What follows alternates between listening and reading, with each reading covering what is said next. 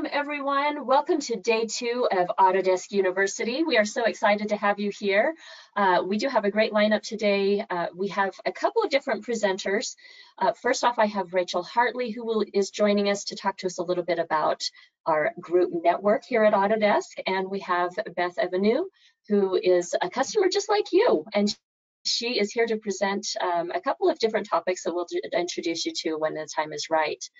Um, but this is our architectural community meetup. We have these on a regular basis every month. We've been having them for the past year.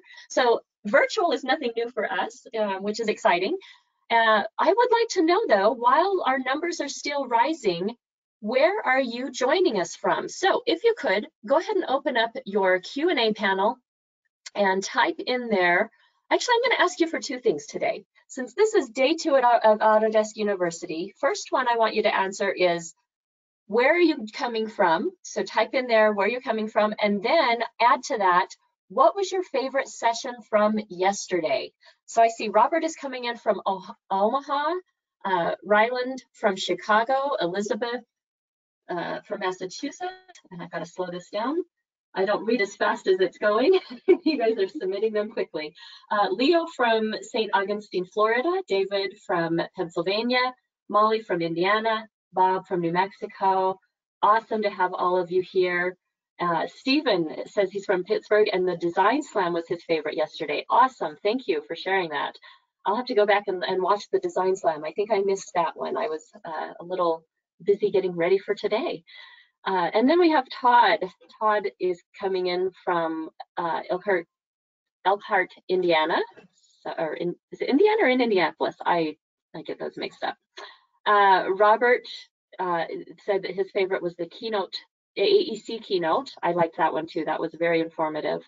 Uh, Mark from Manchester in the UK. Excellent to have a global audience. Ooh, I have Adam from Salt Lake City, Utah. I'm out of Utah as well, so great. Uh, let's see, who else do we have? We have someone from Montreal in Illinois, um, Green Greenville, South Carolina, Sacramento, California, Seattle, Houston, Texas. Um, cannot do no microphone. Okay, so that's okay. All right, um, our numbers are still climbing quite rapidly, so I'm gonna give everyone about two more minutes. We had quite a large number of people registered. In fact, yesterday in our civil engineering meetup, we maxed out. Our maximum number is 1,001 people, and we completely maxed out yesterday. So uh, hopefully everyone is able to get in that wants to. If not, we are recording the session, so not a problem. Everyone can watch that later. Uh, a few more people coming in. We've got California. Uh, Bert says that his favorite uh, is the Design Slam. He's coming from California. Um, Patricia says that, that her favorite was the architect, engineering, and construction keynote. Excellent. Well, I think while we're letting everyone finish getting their um, audio set up and, and get logged in, I will go ahead and run through a few items of business that we need to cover. So I'm Michelle Rasmussen. I am the AEC content manager here at Autodesk. What does that mean? Well, my job is to make sure you have the learning content you need to learn how to use our software effectively to do your job.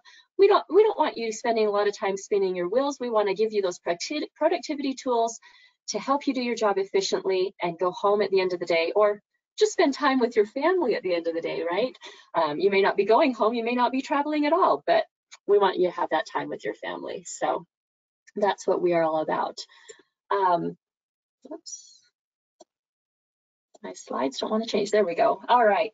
Uh, just quickly, our safe harbor statement, if we by chance make any forward-facing, uh, forward-looking statements, I don't want you to make any purchasing decisions based on those statements. Uh, if you are making purchasing decisions, definitely look at the software in its state today and make those decisions based on that alone, okay? And uh, last item of business, your lines are muted just for background noise because we are recording this session and an email will be sent to everyone who registered at the end of this uh, so that you can watch the recording, you can share the recording, uh, whatever you want to do there. Um, but our background, we want to reduce how much background noise we have for that recording so your lines are muted. However, I highly encourage asking questions. I can't promise we'll get to all of them. There are going to be a lot more of you than there are of us, uh, and, and we may not get through every single question, but we will do our best. Um, and the way you can ask those questions is one, you can put them in the Q&A panel, just like you did when you were putting in where you're coming in from. Or the other option is to raise your hand in the attendee panel. If you raise your hand in the attendee panel when we come to the question and answer sections, uh, I will be able to unmute your line and you can ask your question live. It's the best way to do it when we're doing these meetups. Um, it's the closest thing we can get to face-to-face uh, when, when we can't get face-to-face, -face, right? So, so that's what our options are today. And uh, with that, I am going to turn the time over to Rachel Hartley. She is our community program manager for the Autodesk Group Network, and she's going to tell you all about that. So Rachel, let me go ahead and give you presenter rights. Awesome, thank you. Hello everyone, great to be here with you today. Happy day two of AU. Um, I'm really excited. I know um, I have a busy schedule today, so excited that my calendar is filled up and there's so many amazing sessions to have. So thank you for having the time to, you know, step into this one.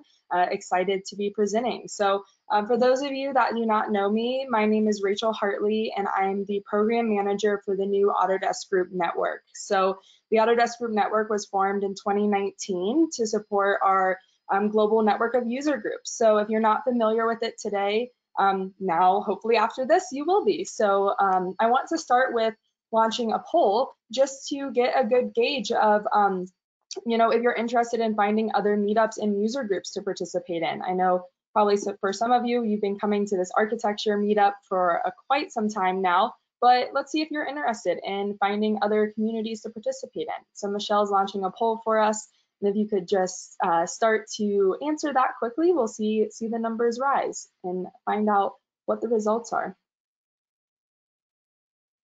So I see 48% have voted. Uh, definitely get your vote in. I'll be closing the poll right after 60 seconds. So I love it. Everyone is voting pretty quickly. Uh, we're at 64% already. So if you haven't voted, get your vote in now on if you'd like to be joining other community groups. 74%, now it's 75. All right, I'll give you 30 more seconds to get your vote in.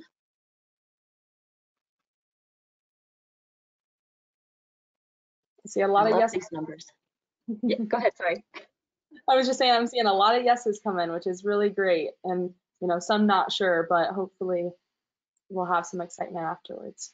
That's right. All right, I'm gonna give you five more seconds. We have 83 people who have voted. Five, four, three, two, and one. All right, I'm closing the poll and we can take a look at those results. 68% uh, say yes, you're definitely interested, and only 4% say no. So that's okay. Uh, I know everyone learns in different ways and has different um, priorities, and so excellent. Awesome. So it's really great. Thank you guys for taking that poll. Um, you know, just to help uh, set that frame. And because um, a large percentage of you are really interested in finding these new community meetups and groups you can become a part of, um, this is our sole mission with the Autodesk Group Network and why we formed this user group program. And it's our global network of user groups, developer groups, and online groups that you can join to connect with others to learn and build relationships and share knowledge. So you'll see in the network, um, now we have over 170 plus user groups that are both physical and online groups. The online groups can span from Facebook groups, LinkedIn.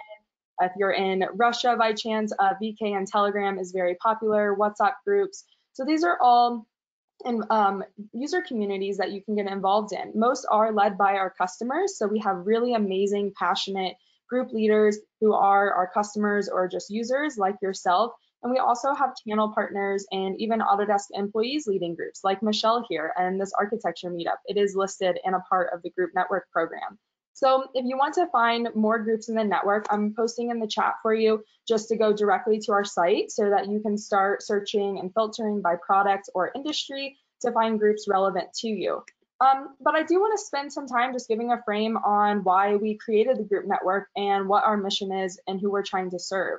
So when we founded the Autodesk Group Network, we're really rooting deep into this vision where people connect in community to share knowledge and collaborate across firms and industries to improve the use of design technology and ultimately make a better world. And for most of our customer-led groups and any of our groups in the network, you know, I think this really aligns with their vision and why they decide to create user groups, to share this knowledge, to connect with new users and people, and ultimately that's going to improve how they use Autodesk technology. And so, you know, why the Autodesk Group Network though? We have all these individual groups leading and aligning with this vision. Um, this is what they're seeking to do. But in forming the group network, we wanted to understand as Autodesk, how can we underpin this community with the right tools and resources that are really going to be valuable to these user groups. And ultimately, it's for us to manage, help um, these user group leaders manage their user groups better and easier and more efficiently so that they can spend more time focusing on value add activities like gaining speakers, um, hosting their events, managing virtual events now, and ultimately that's to grow their community and to reach new users and customers and expand their network. Um, another really important part of why we formed the Autodesk Group Network was connecting and collaborating with other leaders. So realizing that full potential of um, being connected in a network so that a um, you know Dynamo group in San Francisco can connect with a Dynamo group on the East Coast and one in the UK and one in Asia. And so how can being connected in a network be able to start forming those relationships? And this also, um, you know, a lot of customers lead groups because they're reaching their own personal and professional goals. We've had many group leaders who have received promotions from their engagements in user group, the knowledge that they've gained, their expertise, some and a lot we do have our expert elite members. So we help you try to strive and reach those goals. And ultimately this comes back full circle into adopting new and better ways of working. Um, gaining that knowledge using the technology better and uh, really uh, improving that use of design technology so it's really important for us in the group network and what we um, hone into at the root of everything is that Autodesk is supporting without centrally controlling or owning the user groups in the network. And it's really our focus to be that connector, be that bridge builder um, between groups, between your user communities and users and with Autodesk. So uh, with that, I do want to just move us into our second poll and last poll of the day, I promise um, to just understand if you've ever thought about leading your own meetup or online group community. And maybe if you haven't uh, before, but now you're interested in it now, uh, we have that as well. So Michelle will be launching a poll for us. So that poll should be live. I do see 32% have voted. Uh, so get your vote in now. Uh, we'll, I'll be closing the poll in about 50 more seconds.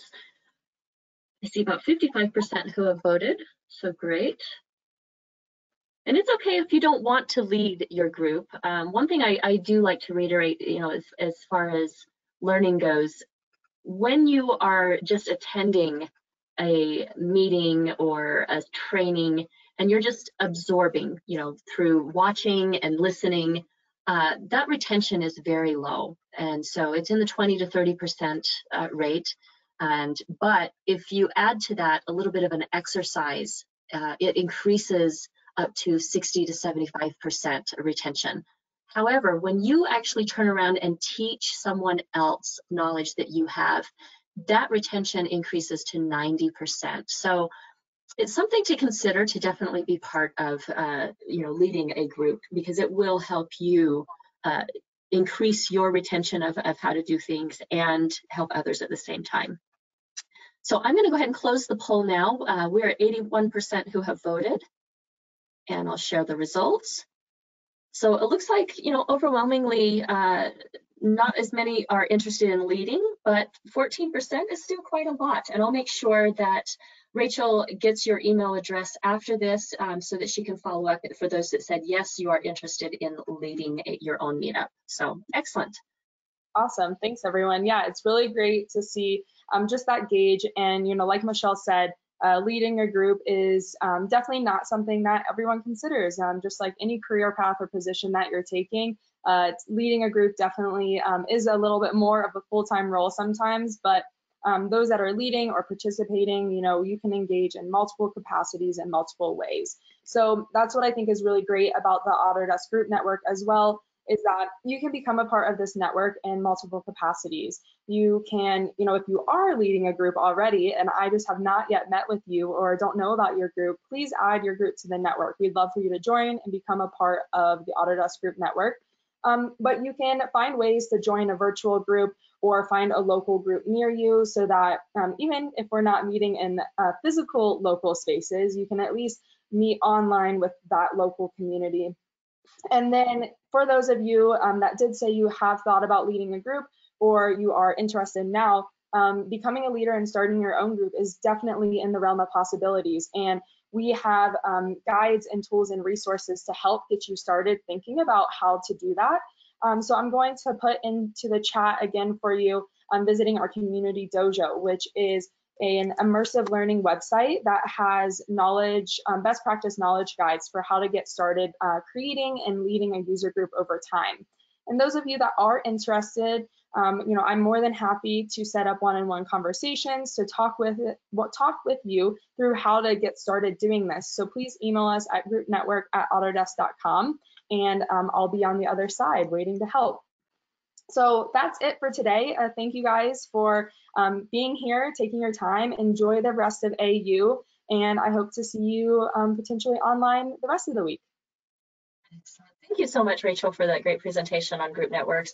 I highly encourage everyone to, to get involved somehow. It's in this time of isolation, I think it just really helps to get that network in there and uh, come together as a community. So excellent. Okay, so thank you again, Rachel, and we will see you on the other side. Uh, for everyone that was interested, again, I will send uh, Rachel your email address and make sure that she uh, is able to get back with you. It may not be this week because I know she's going to be very, very busy this week with a lot of different appointments uh, for AU, but be looking for that maybe next week or the week after um, because there are a lot that were interested from yesterday's civil engineering meetup and uh, a few from today as well. So all right, with that, I have some unfortunate news. We were going to have a presentation on thinking like Revit. Unfortunately, it seems my presenter for that has not shown up yet. Um, I'm not sure what's happened. He, I know he was sick last week. Hopefully, hopefully it's not too serious and that he is feeling better. So, um, so with that, I'm going to jump this one, and we're going to now talk about setting up company Revit family templates, the how and the why behind this. And so let me just quickly back up. For those of you that is this is your first time joining our architectural meetup, uh, back in, um, I think it was April, May timeframe, I had everyone submit topics on what they would like to see presented, and then everyone voted on those in July. And so these are the three topics that you voted uh, as the, the most um, prominent topics in your mind that you would like to learn about. And so I actually have with me today Beth Evenue, who is going to be talking to us about those Revit templates.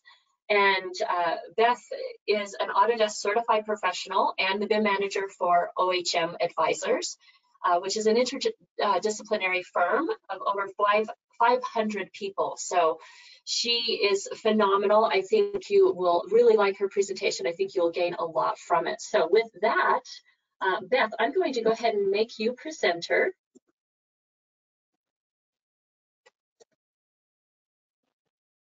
And I'll let you know when I can see your screen. Okay, perfect. I see your slides now. Beth, the time is yours. Hi, everyone. I'm going to go over how and why to create family Revit templates. So first, we're going to focus on the why. There are over 108 family templates that come out of the box. And unless you're supporting all disciplines, you probably don't need all of these. Also, there are a lot of extraneous styles within those families out of the box, and they might not match your standards, and they also bloat the file size a little bit. But for your own company family templates, you can add your standard units if you want it to be different than what the out of the box is. You can insert your standard object styles, shared parameters that you use across your families, and any identity data that you want to standardize, as well as reference planes. If you've been making any families for any amount of time, you'll know that you probably are going to need more than the two that come out of the box. So what's the benefit of all this? It's going to be consistency across your library and across your offices, depending on how many people you have creating content. Also, it's going to save you time every time you go to make a new family, and it's going to create a more uniform library. And hopefully over the course of making families with these templates, you're going to have a more schedulable library. So how do you go about doing this? Uh, personally, I like to start with a checklist. So what are you changing? What are you deleting? What are you adding? This will change over time more than likely, but just get down in writing what you're thinking. And then start with the out-of-the-box family templates. You're going to create a new folder to get all of your versions into. And these are going to start out as RFT files, which is the template uh, designation, and become RFA files. And later on, I'm going to show you how to turn them back into template files. I suggest starting with generic families because these can be changed into, it's, it's going to become your prototype for just about every other family type. Generic models can be changed into most of the other family categories. And there are some, though, that you're going to want to start with the out-of-the-box templates, uh, which have unique functionality, things like casework, columns, uh, things that have two levels to them. Any of those, you're going to want to start with the out-of-the-box template first. And once you've created all of those families that you want to have in your library, you are going to copy those to another folder. Now you can change the file extension to .rft. You can do this manually, but I like to use a file rename utility. It just makes it a lot quicker. And something to note though is that once you change these from an RFA to an RFT, you can no longer edit them. And that's why you want to keep those original families in a folder with your templates so that you can go back and make updates. It's not really a if you need to make updates, it's going to be when. And then the last step for this is going to be repathing your default path for family file templates uh, or for family template files. Uh, anytime you go to create a new family, if you just hit new family, uh, it will start from this folder. So if you change that path to this path that you've saved your families into, uh, it'll automatically go there. And you want to do this for anyone that's going to be creating content across your organization. You might want to do it for everybody just in case, um, that, which is what I do and some, some specific ideas for uh, templates that you might want to build are various detail items, things like line-based detail items where you've added in angled ends or uh, certain elements that are you're going to want to quickly create across your library. Also door panels and frames and hardware where you might be creating multiples of these over the course of years as you come across new things that you need. And then just a kind of a last tip is for title blocks, if you start from a generic annotation, you can switch it to a title block category and still have your reference planes and you can make it a into much easier a parametric family that you can have different sizes for. And I'd like to thank uh, Brian Mackey for the inspiration for this presentation. He does a great job of going through how to do this kind of on a um, basic level just for uh, detail items. And he's inspired me to do my entire own library of family templates. And any questions? great job. Um, so what we're going to do now is we're going to have a five minute Q&A and I see Matt S has his hand raised. And so um, let me get your hand there, Matt, and unmute you. So Matt, I have unmuted you and it looks like you're self-muted. So can you unmute yourself? Oh, looks like you've disappeared from my list. Okay.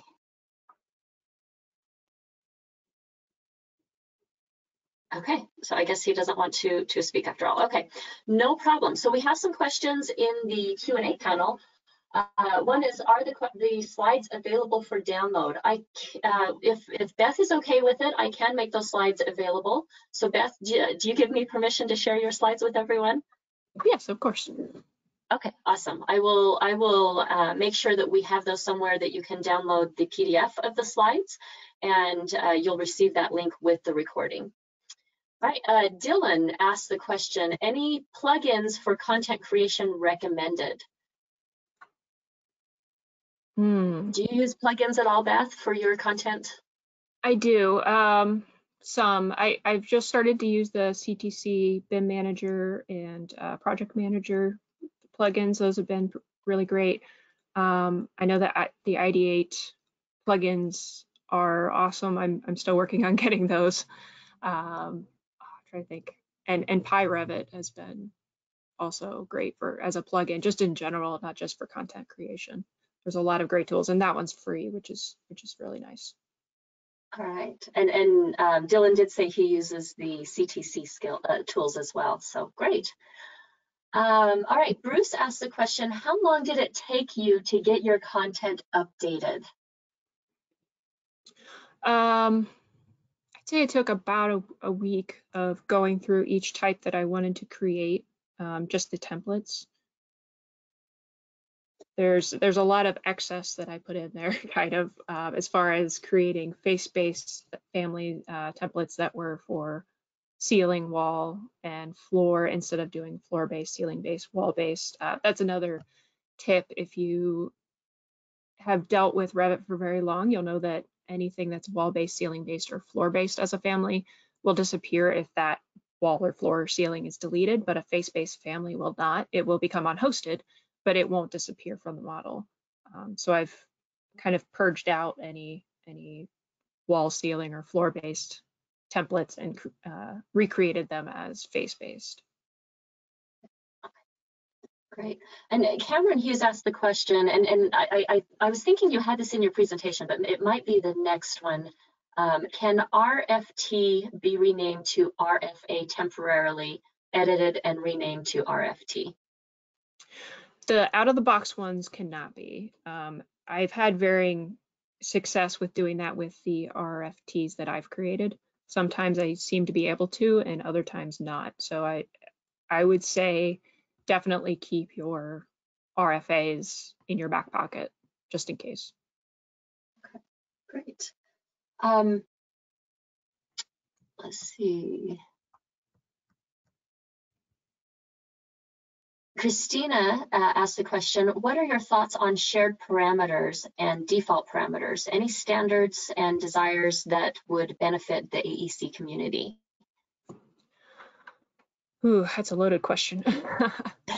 uh, there are a lot of standards out there, um, but there there really isn't one in the United States, which makes it a little uh, difficult at times.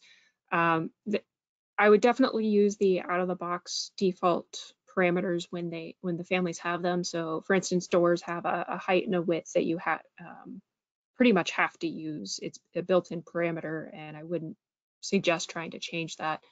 Uh, that being said, I do have shared parameters for height, width, and length, and a, a bunch of other things uh, such as materials and um, things that might be standard across a lot of different um, categories that are built into our company shared parameter file. And those, what's the benefit of shared parameters is that you can schedule those. So once you've added those to multiple families, whether they're in one category or, or multiple, you can schedule those either together in a multi-category schedule or uh, separate in, say, a, a, door schedule or a specialty equipment uh, schedule, for instance. Excellent. All right, um, I, I, love this. Danya is on here. Many of you might know Danya. Uh, she had, she says that she had a class at AU 2019 that explores family templates in more detail and she had really great reviews on it. So thank you, Danya, for sharing that. I she's one of the very seasoned Autodesk University um, teachers here or um, presenters, and so I've shared that publicly so that hopefully you guys can can capture that. Um, if not, I'm going to put that link in the chat panel as well and see if you can grab it from there. So thank you very much, Danya, for sharing that. Um, John Doe, uh, funny, John Doe, uh, says that the CT family tools are great and free. So thank you, John, for sharing that. Um, let's see, Paul. Paul Munn says, what is the best way to manage family or different versions of Revit? Any tips on issues? Mm. So there are some um, add-ins to help you with that. I believe um, Unifi has a great way of handling it, but again, that's something you would have to buy. Um, personally, I keep a, a library for each year, and then as we go into, say, you know, uh, providing content maybe three years back, but not past that point. So you're um, you want to make sure that you're not saving things in later versions because you can't open them in the past versions. It, it definitely requires some organization and making sure that you're you're not overwriting things. Uh, but basically, my my take on it is create a a library that goes back a while, but you're only providing updates in the current library. So if uh, you're not you're not trying to maintain all of those at one time. Excellent.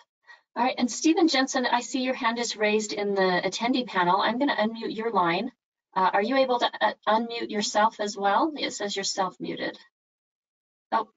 And his name moved on me, so it looks like maybe he wasn't intending to ask a question. That's okay. If you are brave enough to ask questions live, I would love to unmute your line. Just uh, raise your hand in the attendee panel, and uh, I will unmute you. Otherwise, we'll keep going through the, the Q&A in the, the Q&A panel. So Jonathan asked the question, do you find a need to update family templates or start new with subsequent Revit releases? How do you manage that process?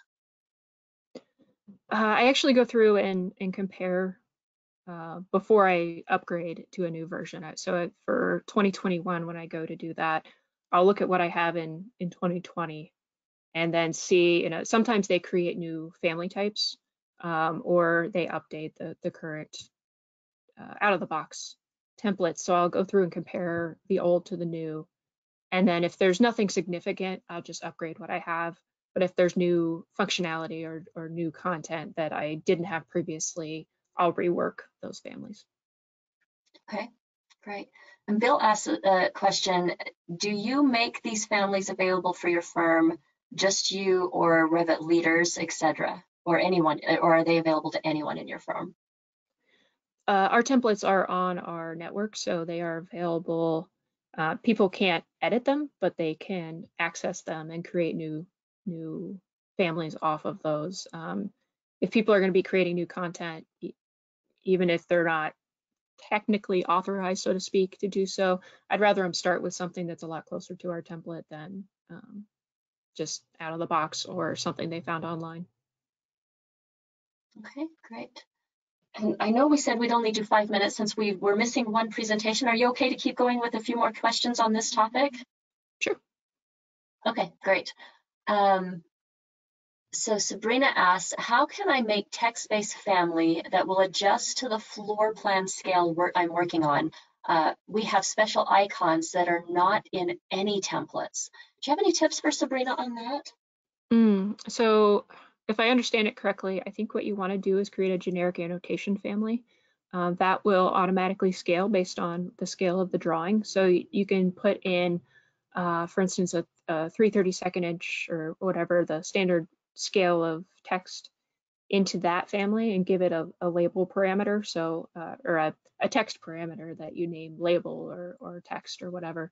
And then you can pull that into any any plan, any view, and it will scale depending on what the scale of the drawing is and still be legible.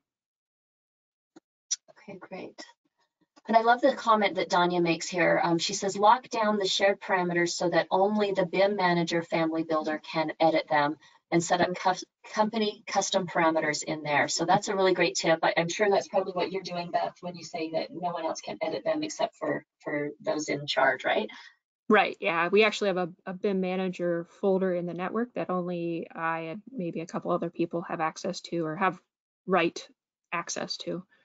Um, W-R-I-T-E, not R-I-T-H-T. um, so that only um, a few people can actually change those. Excellent, excellent. Well, for time's sake, let's go ahead and move on to your next presentation. Um, so Beth actually submitted a few different topics and when everyone voted, uh, two of hers got selected. So uh, I'm gonna turn it back over to Beth and the time is yours. Cool. So uh, this topic is actually using a key schedule as a code tool, uh, finding your occupant loads based on your rooms or areas. So I'm going to show you how to calculate occupancy with this method, but there are many other uses for the same workflow. Uh, you can create a heat map of occupant density, uh, function of space dispersion, um, egress or stair widths, calculate your minimum exit count by room, your parking requirements even, or if you wanted to do a preliminary cost estimate, you could give each room type a cost per square foot and do it that way. So I'm going to show you a four-step process. And the first step in that process are key schedules. So you're going to create a key schedule just like any other schedule, except that you're going to select the Schedule Keys Radio button when you first create the schedule. And you want to be careful to name your parameter and schedule to differentiate them from other schedules and parameters because these are going to act differently and you want to make sure that people understand when they're accessing them what they're for. Then you're going to add in your schedule fields. Uh, the only one you need for this workflow is area per occupant. But if you wanted to add more parameters corresponding to those uh, uh, additional uses I mentioned earlier, you can do that here as well.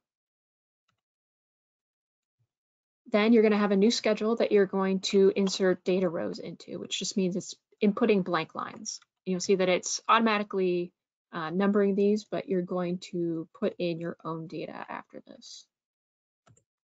So now you've got to create your keys and you have to do this manually, unfortunately, which is where the grunt work comes in. Uh, and so you're going to put in your code information, and this might be uh, from International Building Code, NFPA, or maybe your local building code, maybe your state or your uh, country has a different code. Whatever it is, this is where you're going to put in that information. And you can add more to it over time. I chose to put in everything at once, and actually we are across different jurisdictions, so I have uh, a few different codes that I'm making sure are in there as well.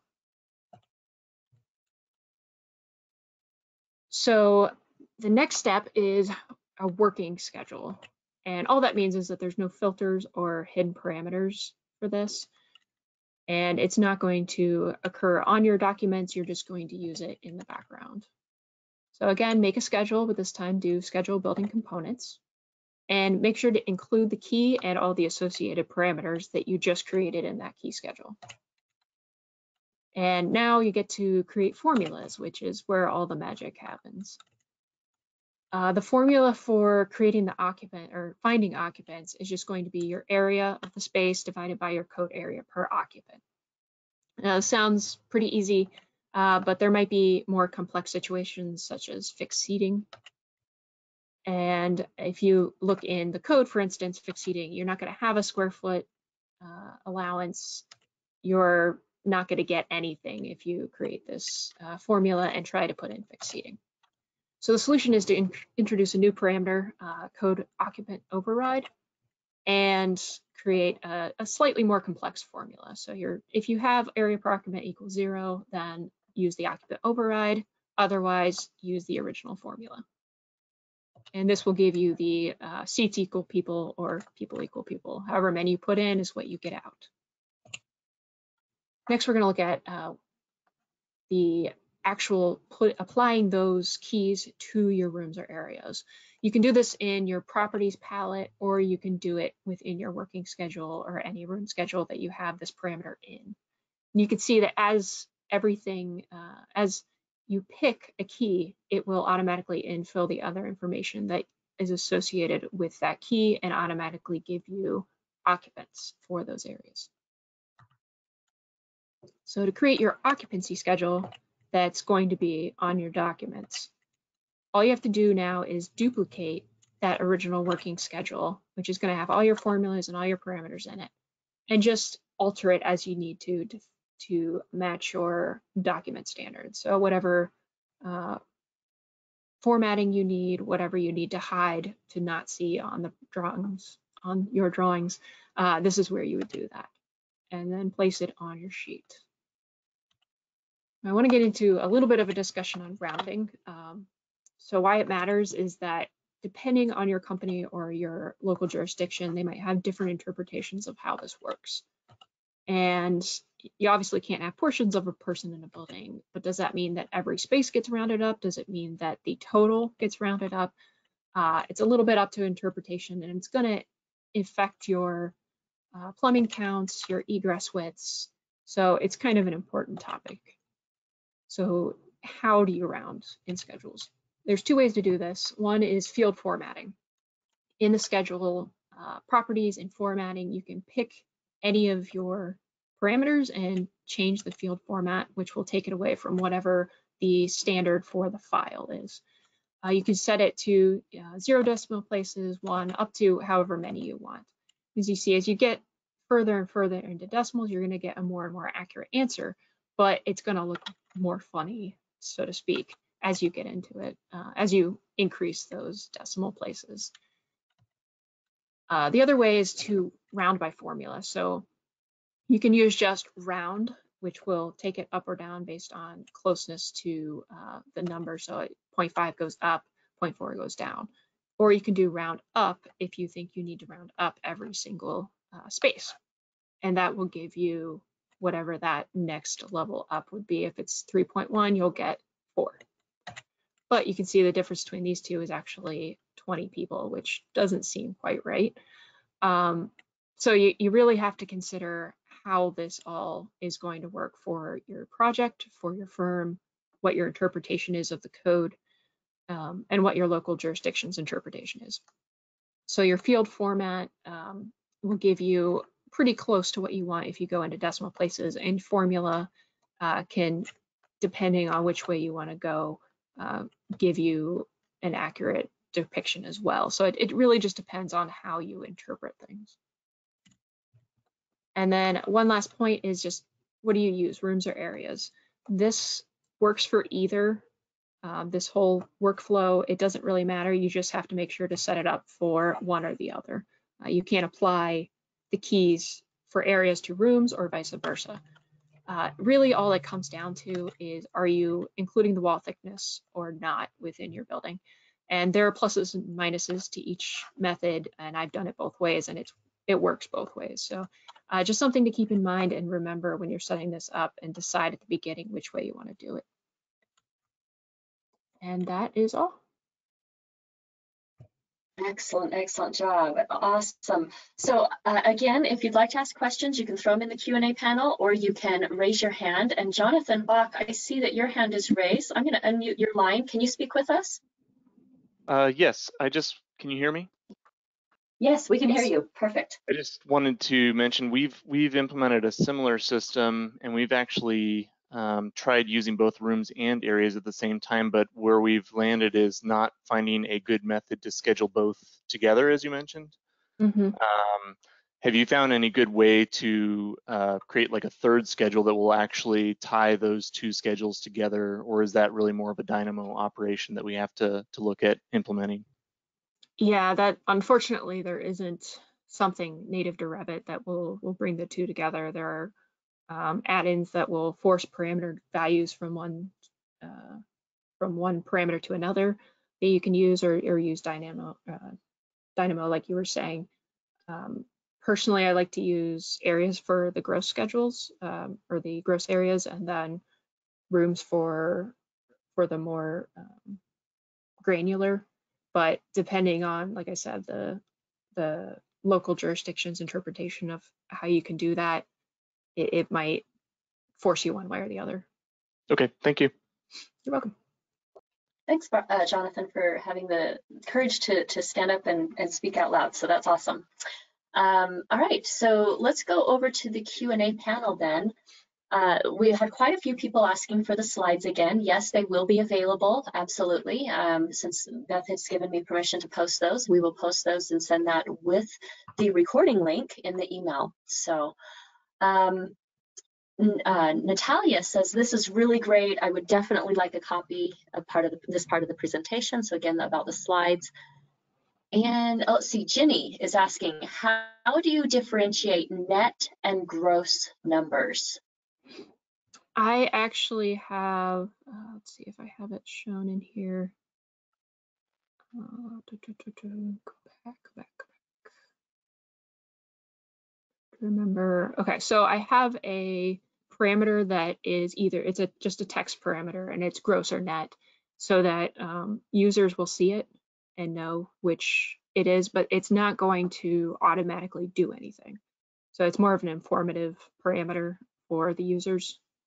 Um, but there's, as far as I can tell so far, there's no way to automatically embed what it will pull that information from. You kind of have to manage that manually. Okay, great. Uh, Monica asked the question, do you use schedules for takeoff or do you use something like Assemble? Uh, currently, we don't use Assemble. Uh, we've we've done takeoffs with schedules, but it, uh, we haven't delved too deeply into uh, into estimating with with Revit. Great. Uh, Megan is asking, can areas be used in design options? They cannot, if I remember correctly, and go to that last slide. Um, yep, that last one there uh, cannot be areas cannot be used in design options. That's one of the negatives for using areas. Uh, and, and rooms can be, it's something that too that you could, if you're just doing preliminary design, use rooms to begin with, and then uh, switch over to using areas when you get into the more uh, specifics of maybe DD or CD level. At, at one point, and I've, I've changed this recently, but at one point I had both areas and rooms set up with this workflow so that there's a key schedule for each. Okay, great. And Sam, I'm going to go ahead and unmute your line. I see that you have your hand raised. So can you unmute yourself?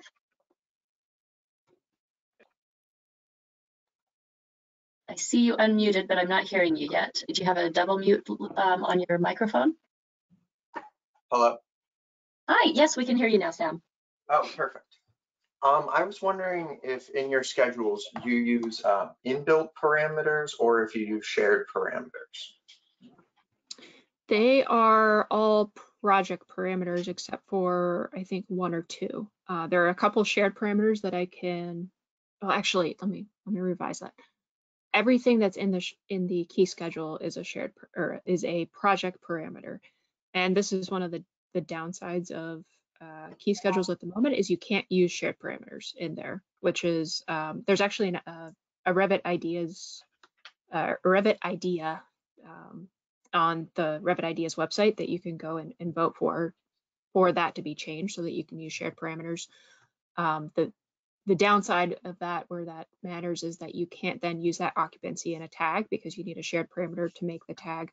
My workaround for that right now is um, using one of those uh, add-ins to push the occupancy uh, parameter output that is the project parameter into a shared parameter that is tied to the tag that I use. Um, gotcha. So yeah. Yeah, we do the same thing. We push it into, we use the tags and then we just check the schedule to see if we got them correct. Okay. Mm -hmm. Yeah, I use, uh, we have the Imaginit utilities and it has a parameter pusher that mm. um, I just copy, basically take the uh, occupancy, copy it to a new shared parameter, or an, another parameter that is a shared parameter, which is tied to our, our tags. And that does pretty well, but you have to make sure to update it now and then. Yeah. Okay. Great. I'm glad that uh, I'm glad that uh, we're on the same page because I, I do love those shared parameters to be to be able to fill them out manually in the plan and then have the schedule auto populate. For sure. Yeah. I I'm hoping that they get that fixed in, in a year or two. Hey, this is Naman. Um, one thing to make sure that uh, the things are correct is I usually use a, a conditional column. Uh, so if it doesn't match, and the overridden value doesn't match the calculated value, then it automatically flags that uh, schedule with a red box or something like that. So that kind of helps error Hmm. checking. Yeah, definitely. That's a great point. Um, there's uh, that is how I don't, I don't remember if I thought of doing that, but um, that's how I've set up the max occupant load for one door in uh, my schedule as well. So if you have a space that gets over 49 people, you can have it set for conditional formatting to, sh to show up highlighted. So you remember, okay, I need to make sure I have, you know, more than one door in this space. Uh, it's been a lifesaver on a couple of our schools where we got a, a, a classroom or two that are just over and we need to either make sure to, to alter the space or add another door. So Naman, I'm so glad that you made it. Um, we're going to go ahead and go back to Naman's presentation, so we'll jump ship here. So thank you, Beth. Amazing, amazing presentations. Great job. Um, so Naman, let me go ahead and make you presenter. And uh, give me one second to get that working. And if you want to go ahead and share your screen uh, while you're setting that up, I will uh, basically introduce you. So uh, Naman is going to talk to us a little bit about thinking like Revit. This was uh, actually the, the very top session that people voted on. So I'm excited that he did make it. So thank you. Um, but he is an expert elite uh, and an architect uh, with and a design technology manager. So he has more than 30 years of experience with Autodesk family of products, including AutoCAD, AutoCAD Architecture, Revit, BIM 360, and Navisworks. So quite a lot of uh, uh, experience there. Uh, Naman, since we are getting low on time, I'll turn the time Yep. over to you. Go ahead and start when you're ready.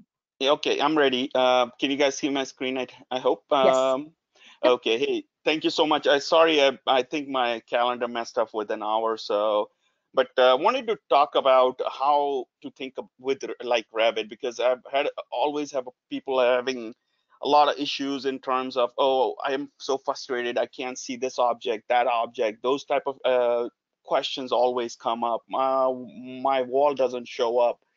Uh, but once you start thinking like Revit, how Revit is organized, um, I think it makes it much easier to uh, troubleshoot your problems as well as uh, getting an in-depth idea of what the inner workings are and how Revit basic organization is. The the bottommost, you know, with the model is work sets.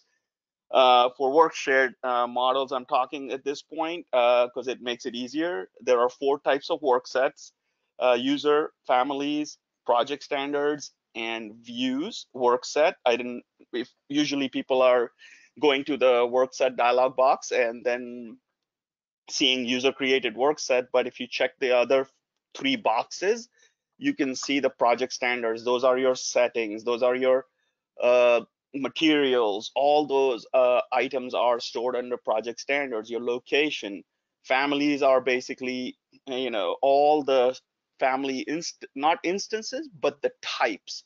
They are a work set on its own. So, uh, and then we all know the user created work set, but the real trick is for user created work sets is that um, they are all these items kind of interconnect together. Uh, they uh, work together to kind of give you that result at the end of the day to be able to sell your design. Um, these all items basically kind of uh, they connect not linearly but in a loop as that's why the reason I have that. But then first you get the levels. So the levels is the topmost um, item in terms of a model element uh, what a model element is is all user created items or, or user created work sets contain model items all the model items are hosted typically by the level and then you have hosting elements uh, basically your wall curtain walls floors roof uh, ceilings, stairs, and ramps. But uh, they work in tandem with the datums. Uh, level is a datum, but uh, I put it like way at the bottom because it is the uh, highest um, prior item, but without a level, there is nothing. Grids and reference planes are also that. And then once you get also, there are links that are also uh, model items. Uh, I put CAD here and you will see CAD show up under annotation objects too. We'll talk about those. Uh, so what are the model elements here? The model elements, uh, we talked about the basic architectural stuff, but we have doors and windows. They are all, always hosted by the wall. Then we have um, architectural elements like columns, text, model text, railings, components like light fixtures, ceiling fan, I mean, uh, specialty equipment, all those fall under the component.